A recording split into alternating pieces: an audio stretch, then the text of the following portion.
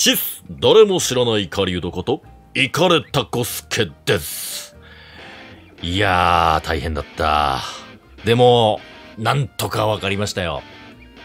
地帯レベルを上げずに、ティガレックス亜種、リオレウス希少種、リオレイヤ希少種、えー、キズガルルガと戦える方法。これ一応ちょっとね、検証だけの話で言うと、キズガルルガだけは検証できてないんですよ。あの、ちょうど条件に合うメンバーがいなかったんで。ただ、他の3つに関してはできたんで、多分、傷がルルガもできるんではないかな、ということでございます。え一応、簡単に1から説明しますと、この、あの、隠しモンスター的な4種、えー、まあ、特にね、まあ、ガルルガなんかはまあそそうでもないけども、装備がめちゃくちゃ使う、えー、リオレウス希少種、リオレイヤ希少種、ティガレックス、アシュはですね、このクリア後の導きの地の地帯レベルっていうのを MR70 にした上で6まで上げる必要がある。これが結構大変。しかも1個上げると他のやつが下がってしまうんで、あのー、順次ね、順序よく、あの、ガンガンガンと6になっていくかといったらそんなことはなく、また上げ直す必要があったわけでございます。これがね、また最近は切断とかで、あの、ちょっと運営の方からもね、お達しがありましたけども、まあそういった意味で、なかなか戦えない。でも、見ていただきたい。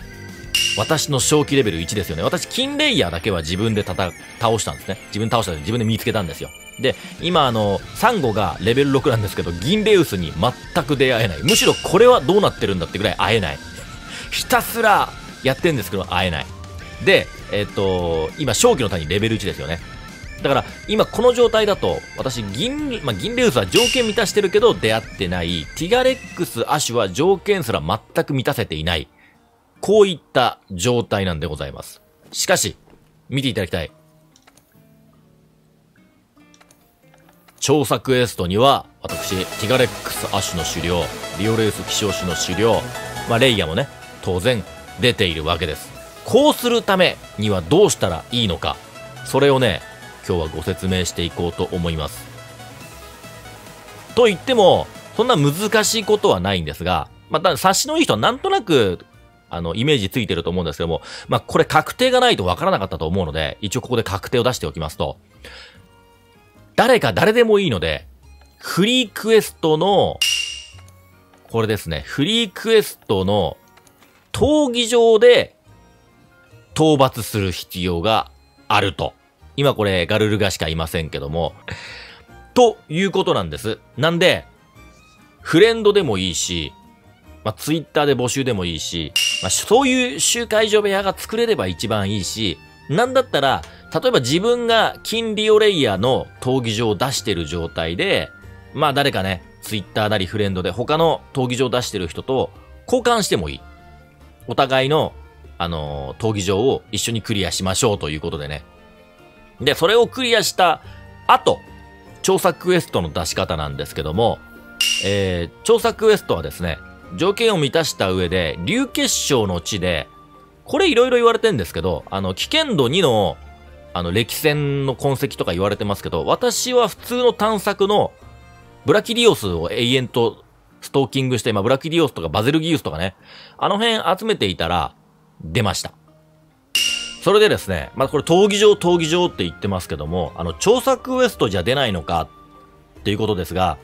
これね、検証勢のね、うちの検証勢にね、めちゃくちゃ痕跡集めてもらって、あの、レポート出してもらったんですけど、出ませんでしたね。調査クエスト一緒に行って、えレウス、銀レウスを倒して、で、まあ、これで出るかなと思って、調査のあの、痕跡集めをひたすらやってもらったんですけども、朝までやってもらったんですけども、できませんでしたね。あ、とりあえず今回本当あの、闘技場を提供していただいた町島さんとね、あの、検証に参加していただいた CEO さんありがとうございます。で、えっと、まあ、最悪ね、フレンドがいっぱいいて、闘技場毎回出してるの大変だっていう人は、闘技場で、闘技場じゃなくてもいいんですけど、調査でもいいんですけども、このリオレイウス、リオレイヤー、ティガレックス、アクシュ、イアンガルールガーと遭遇させてあげるだけでもいいです。それでは調査クエストは出ないんですけども、ここに出るんですね。ターゲット。あの、リオレイア希少種、リオレウス希少種、傷ついたイャンガルルガ、あの、マルチの参加要項ですね。ここで検索ができなかったことが一番辛かったわけですよ。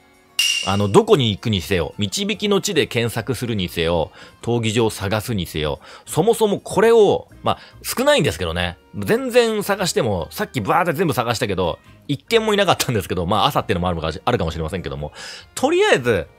あの、闘技場そんなにまだ倒せないし、時間かかるからっていうことで、フレンドの人でいっぱい連れて行ってほしいって人がいたら、まあ、とりあえず顔見せさせてあげれば、検索に出るようになりますんで、まあ、これは後で各々検索して戦いに行くといいと思われます。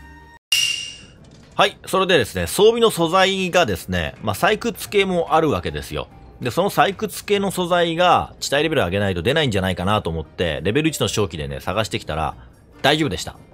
大丈夫でした。結果的に多分、あの、MR とこれ関連してんのかな？おそらくね、おそらく一番レアなのがこの龍脈にやらしい胸骨だと思うんですけども、これもまあ普通に出て、まあとりあえずね、この防具を作るにあたっては全ての素材がこれで手に入るようになっていますんで、